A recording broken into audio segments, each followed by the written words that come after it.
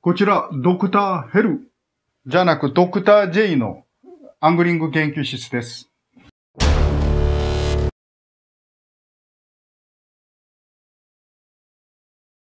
えー、高麗月魚。総狩り釣りに対して教えてという日本のアングラーが多いはずなので、今回総狩り釣り、高麗月魚釣りに多めに見てください。よろしくお願いします。総狩り釣りは韓国ルアー釣りの原点です。日本より確かに韓国のルアー釣りは、あの、その歴史が短いと言えますが、日本にいない魚が、あの、なんというか、伝統的なスタイルで韓国のルアー釣りのジャンルになってます。韓国のルアー釣りは、まあ、この魚、高麗月魚から始まりました。見てみましょう。高麗月魚、ソガリです。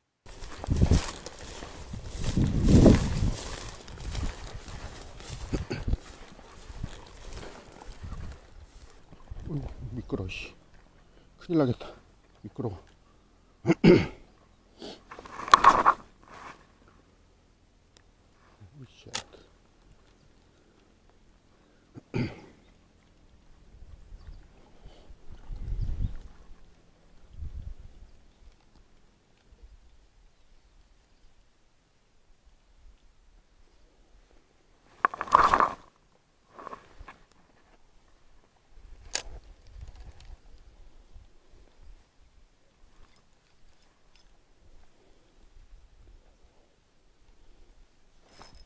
예스 히트 쏘가리.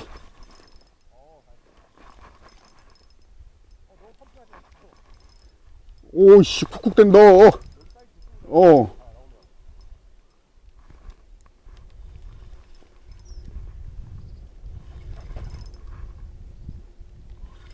오호호호 야야야야. 이히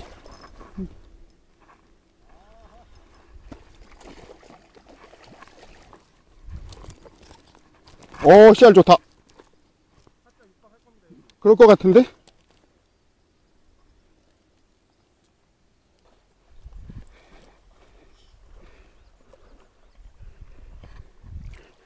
사진이나 하나 바꿔주십시오. 아, 그 작품입니다. 지금 여기. このゾガリ釣りがいつから始まったかというと、1960年代の終わりか、70年代の頭ぐらいだと思います。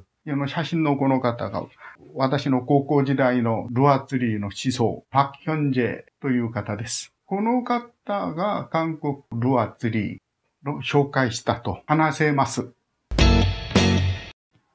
ソガリという魚は、あのやっぱ、スズキ科のあの淡水魚、ちょっと珍しいスズキ科の淡水魚です。え中国にも月魚という魚がいます。こちらの、あの、高麗月魚とは全然違う魚です。ちょっと似てますけど、あの中国の月魚は、そこが泥になっているところで住んでいる魚なんですが、高麗月魚は流れが強いところの、あの、岩場、そこが岩になっているところで住んでいる魚です。流れの強い性、流れの弱くて深い淵を移動しながら、まあ、生活している魚です。猛烈なフィッシュイーターですね。とまた、あの、動かない餌は食わないです。 아, 벌써 몇 마리째야, 이거. 재밌다.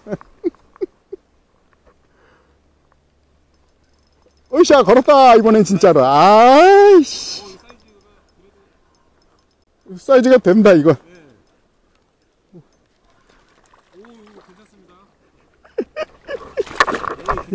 이야, 그리고 사- 지금 문척에 굴에 저기 아, 알아, 동해. 이- 있을 거예요. 거기 동네 사람, 아, 이거 또 걸었어. 나이스. 오, 이거 사이즈 좋다. 이것도. 오, 야, 야, 야, 야, 쳐박는다.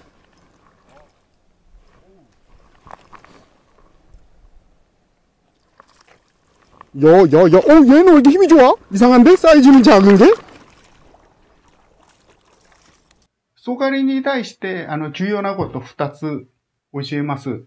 一応、えーソガリはですね、あの、背びれに時計、背びれの時計に毒があります。下手に触れて刺されたら大変なことになりますね。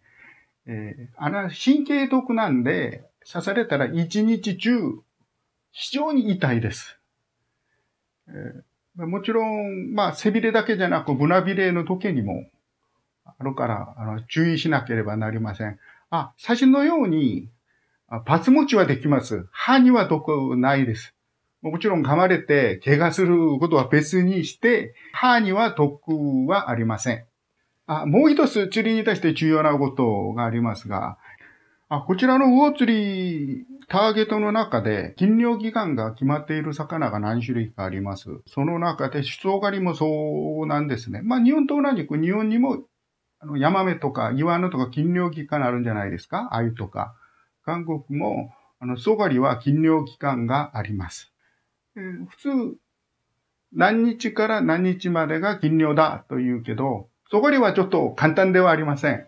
えー地域によって、また、あの、普通の川か、湖の影響のあって、まあ、水深が深いところだったとまた違います。普通、4月から6月の中で、40日間ぐらいが禁漁になります。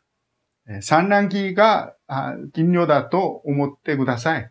ただ、全国同じじゃなく、場所によって違うことをを確認して釣りをしなければなりません。じゃあ、ここで私の、あの、釣りタクル、総狩りタクルを紹介しましょう。えーロットは、えー6フィートから7フィートまでのライトアクション。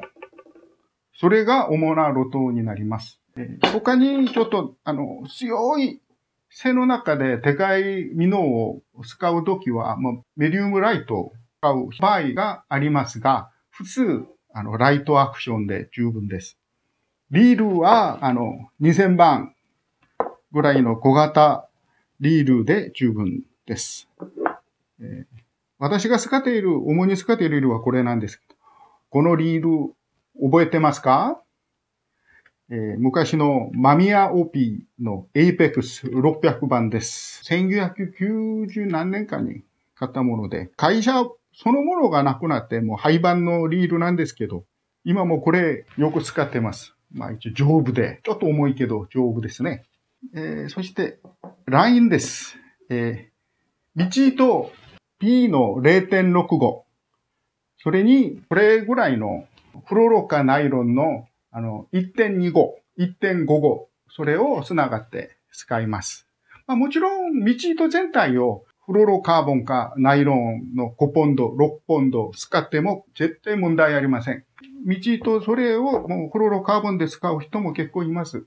まあもちろん、飛距離が欲しいと人は、まあ、道と、そうい P ライン使いますけどね。ルアーです。ルアーは、普通使うのが、えー5センチから8センチぐらいまでの、普通6センチ、7センチよく使います。5センチ、6センチ、7センチ、8センチぐらいまでのミノ、サスペンドか、シンキングかです。そして、えージグヘッドリーグ。ジグヘッドの重さは、あの、水深と流れの強さによって、まあ、変わりますが、えーまあ、いろいろ、2, 2グラムから8グラムまでですよね。そのジグヘッドに2インチか3インチのクラブセットして使います。えー、ソガリ釣りの特徴というか、目がっかりがすごいです。ソガリそのもの、高麗月魚そのものが、あの、ベタ底に岩場に潜んで、あの、ハンティングしている、あの、フィッシュイーターなんですね。まあもちろん、活性がおるときは、ルアーをずーっと追ってて攻撃するけど、普通は、あの、ルアーをそこまでスレスレ、トーレスしないと食わないことが多いです。それで根がかりすごいです。ソガリ釣りは、根がかりは当たり前のことだということを理解してください。ソガリはですね、非常に人気が高い魚です。釣り人はもちろんのこと、他に普通の人々にも食道楽でも楽しめる魚なんです。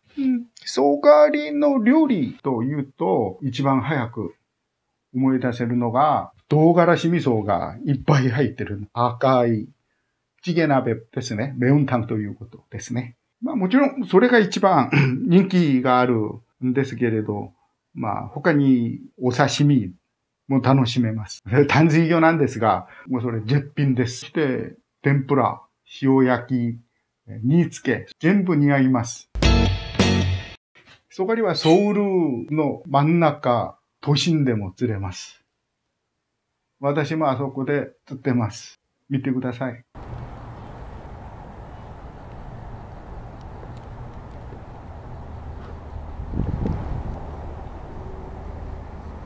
よし。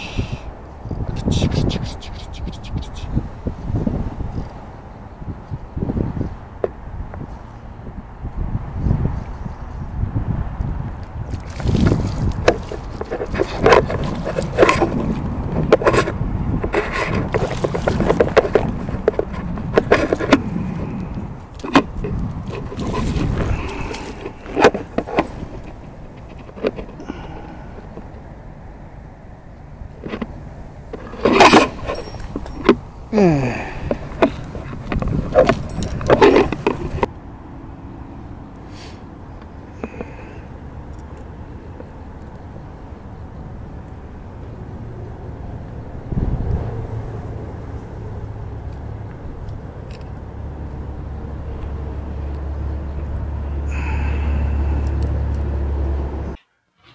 あなたもいかがですか？もうコロナウイルスも勢力は弱まってます。一度こちらへおいでください。そがりが待っていますよ。ドクターヘルじゃなくドクター J は他の課題で帰ります。ありがとうございました。